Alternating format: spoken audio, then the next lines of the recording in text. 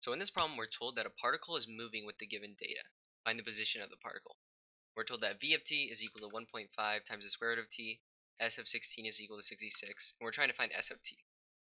So recall from earlier sections that the derivative with respect to t, so basically this the, the, the derivative of a position function, so like the derivative of s of t, which is a position function, is going to be equal to a velocity function. So what that also means is that if we take the antiderivative of a velocity function, we'll get a position function. So keep that in mind for when we solve this problem. So we're told that v of t is equal to 1.5 times the square root of t. But instead of writing the square root of t, I'm going to write it as t to the 1 half because the square root of t is just equal to t to the 1 half and it just makes it easier to solve. So what they're asking for us for is s of t. And so we can find s of t by taking the antiderivative of v of t. So let's just go ahead and do that. So what is the antiderivative of 1.5 times t to the 1 half?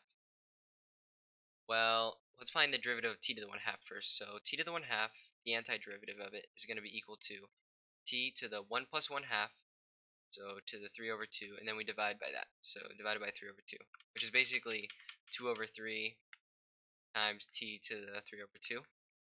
Then we're multiplying by 1.5.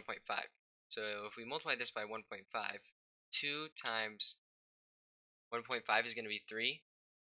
So this is going to be equal to 3 over uh, 3 times t to the 3 over 2. So this just cancels, becomes 1. So this is just t to the 3 over 2. And then whenever we take the antiderivative of something, we got to add plus c. So s of t is equal to t to the 3 over 2 plus c. But then um, we need to find what c is in order to solve this question. So they tell us that s of 16 is equal to 66.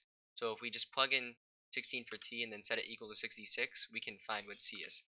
So 66 is equal to 16 to the 3 over 2 plus c. So 16 to the 3 over 2 is going to be equal to 64. So we have 66 equals 64 plus c. Then if we subtract 64 from both sides, we'll get that c equals 2. So now we got c, we just got to plug it in, and that's going to be our answer. So s of t is going to be equal to t to the 3 over 2 plus our c, and we know that c is 2, so just plus 2.